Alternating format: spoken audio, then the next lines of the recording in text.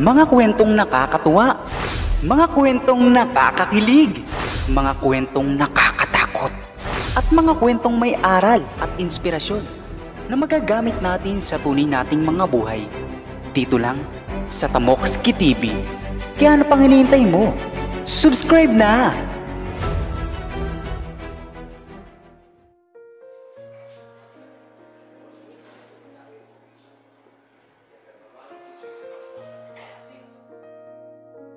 Alas 11 na ng umaga kaya hindi katakatakang marami na naman tao sa restoran na pinagtatrabahuhan niya.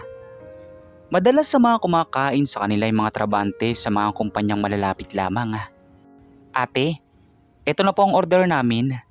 Tawag sa kanya ng isang customer.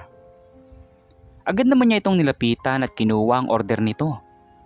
Nang matapos doon ay may kumoy na naman sa kanyang customer. At nang matapos kunin ang mga order nito ay pumasok siya sa loob upang asikasuhin ang mga naisulat na order ng mga customer nila. Sa kanyang paglabas ay nakita niya ang isang lalaking mangangalakal. Baka sa mukha nito ang labis na gutom at pagod sa pangangalakal. Idagdag pa ang init ng araw sa labas. Nakatingin ito sa loob at tila naglalaway sa mga pagkaing nakikita. Sabag na nararamdaman ay kinawayan niya ito at pinapasok sa loob. Bagya pa itong nag-atubuling pumasok at mukhang nahihiya. Ngunit kinawayan niya ito ng paulit-ulit kaya walang nagawa ang matandang lalaki kundi ang pumasok sa loob. Alam kong gutom ka na. Eto kuya oh. Aniya. Sabay abot ng pagkain para sa kanya.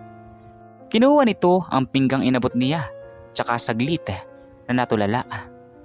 Ilang minuto muna nitong tinitigan ang pagkain at tila nagdadalawang isip na kainin. Pagkain mo ito, maya-maya ay tanong nito. Ano pang kakainin mo? Tanong pang muli nito. Kaysa alalahanin ang sarili ay mas inalala pa siya nito. Gayong sa kanilang dalaway mas salatang ito ang gutom na gutom. Ngumiti siya tsaka sininyasa nitong kumain na. Kainin mo na yan bago pa magbago ang isip ko. Aniya. Ngumiti ito tsaka tumango. Tila natakot na baka magbago nga ang kanyang isipan. Umupo ito sa may dulong bahagi kung saan wala masyadong customer na umuupo. Nagpatuloy si Sheila sa kanyang trabaho at nang matapos ay bumalik siya sa counter upang asikasuhin naman ang bayarin ng mga customer na kumakain. Ang tutoy kaherang trabaho niya sa restoran na iyon Ngunit kapag ganitong maraming dumadagsang customer at aligagana ang lahat, ay tumutulong siya sa mga kasamahan upang mas mapabilis ang pag-aasikaso sa mga customer na nagugutom na. Bakit mo siya pinapasok sa loob at pinakain? Baka mamaya niyan, masana yan at bumalik-balik na yan dito sa atin. Ani ni Hana, kasama niya sa kanyang trabaho. Tiningnan ni Sheila ang mamantahimik na ninanamnam ang pagkaing binigay niya. Bilib din naman ako sa kabaitan mo Sheila. Di baling wala kang makain. Basta may maipakain ka lang sa taong di mo naman kilala. Ani Hana. Halata sa boses ang inis nito. Muling ibinaling ni Sheila ang atensyon sa ginagawa tsaka nagsalita. Hana, hindi ka ba marunong maawa? Hindi mo lang ba nakikita ang gutom na gutom na ang mamang iyan? Aniya. Tiningnan naman ni Hana ang mama at umismid. Kahit na, Baka malaman ni Sir ang ginawa mong pagpapasok sa pulubing iyan at baka pagalitan tayong lahat. Ani Hana. Tabingi ngumiti si Sheila tsaka seryosong tiningnan itong si Hana.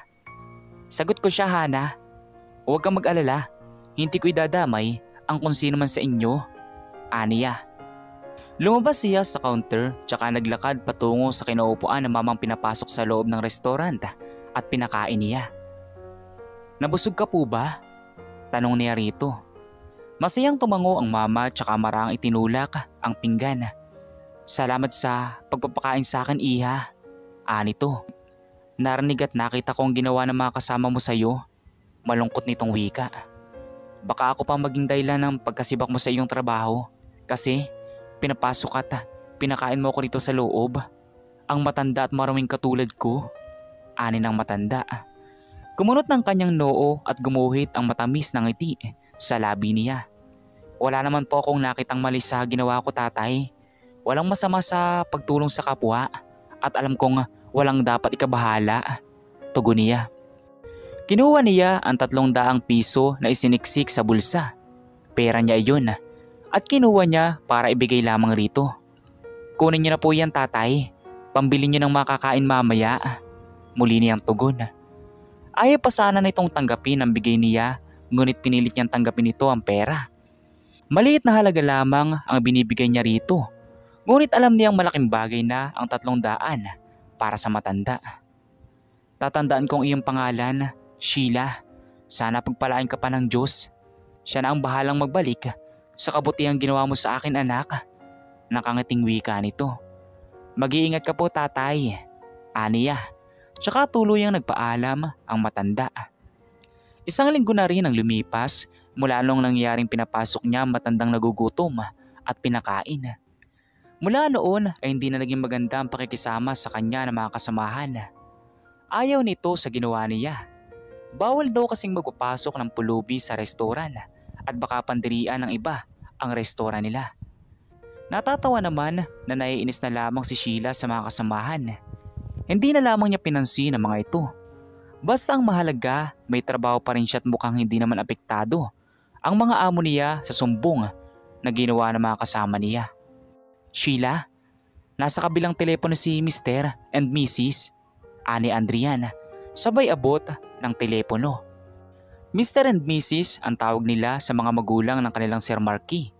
Si Mr. and Mrs. ang among hindi pa nila nakikilala ni minsan. Kaya hindi nila alam kung ano ang mga itsura at ugali ng mga ito. Agad naman niyang narinig ang bulong-bulungan ng mga kasamahan at sinasabing baka nakarating na sa mag-asawa ang ginawa niya at paniguradong pagalitan siya at baka tanggalin pa sa trabaho kapag minalas. Kinabukasan ay nasa mismong bahay na siya ng kanyang amo. Agad siyang pinapasok ng gwardyang nakabantay sa gate. At sa kanyang pagpasok sa mismong bahay ay agad na nalaki ang kanyang mga mata sa pamilyar na lalaking sumalubong sa kanya. Tatay, Gulat niyang sambit. Nagkita tayong muli Sheila. Nakangating wika ni Mister. Ito ang matandang lalaking kanyang pinapasok sa loob ng restoran at pinakain tsaka binigyan ng pera upang pambiling pagkain kinagabihan. Kung tutuusin ay mas mayaman pa pala ito kaysa sa kanya. Matapos siyang ipakilala nito sa asawa nitong si Mrs. ay agad siyang pinakain ng dalawa ng masarap na pagkain inihanda para talaga sa kanya. Kaya pala siya personal na pinapunta ng amo ay balak nitong kausapin siya ng masinsinan at pakiusapang gawing manager ng mga restoran nito. Bukod pa roon ay sobrang saya niya dahil tinaasan din ito ang kanyang sweldo. Labis na nagpasalamat siya sa mag-asawa. Ayon kay Mister, sinadya niyang magpanggap na mamang mangalakal at nagbaka sakaling may pumansin sa kanya't maawa. At bukod tanging siya lang ang pumasa sa pagsubok na iyon. Hindi naman niya inakalang isang malaking swerte pala ang kapalit sa ginawa niyang pagtulong dito. Para sa kanya, nung kinawayan niya ito'y nais lamang niyang tumulong sa nagugutom na matanda. Dahil ginagawa naman talaga niya iyon noon pa man. Hindi naman niya akalain na higit pa sa pagkain at tatlong daang piso ang ibabalik nito sa kanya. Salamat sa pagiging maawain at matalungin niyang natural. Nakilala niya ang totoong amo. At bukod pa roon ay binigyan pa siya nito ng biyayang higit pa sa kanyang inaasahan. Kayo, ano pong masasabi nyo sa maiksing kwento natin ngayon at kung anong aral po ang mga natutunan nyo? Maaari nyo po bang i-comment dun sa comment section para muli ko pong mabasa? So once again, inuulit ko pong muli, ako po si Tamoxki TV. Kita-kita po tayong muli sa mga susunod pa nating mga video. Thank you and God bless you all. Peace out.